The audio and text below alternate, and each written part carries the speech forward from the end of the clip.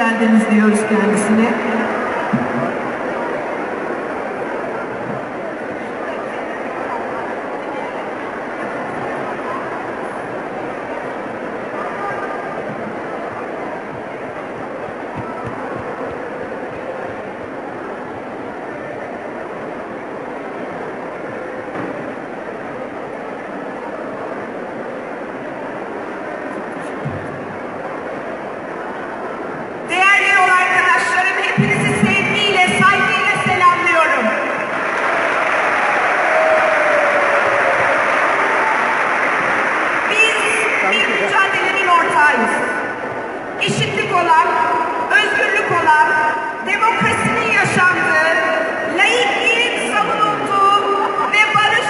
söylendiği ve yaşatıldığı bir Türk dilinin mücadelesinin ortağı biz kadınlar.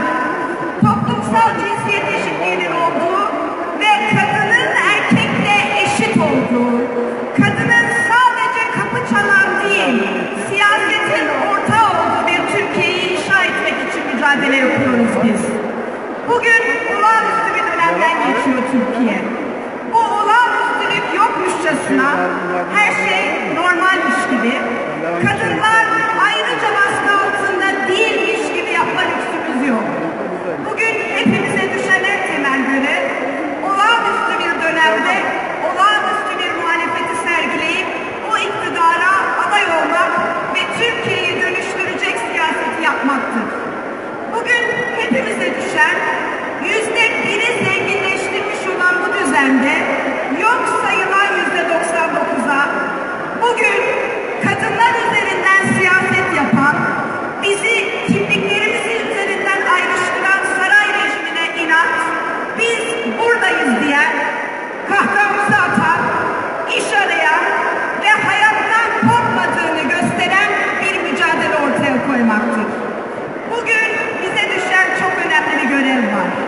kadını yok sayanlara karşı buradayız diyen, kadını ezenlere karşı ezilmeyeceğiz diyen, kadınla birlikte bir hayat kurmaktan korkanlara biz buradayız, beraber kuracağız diyen ve en önemlisi Cumhuriyet devriminin bir kadın devrimi olduğu bilinciyle yeniden Cumhuriyeti ayağa kaldıran bir mücadele vermemiz gerekiyor.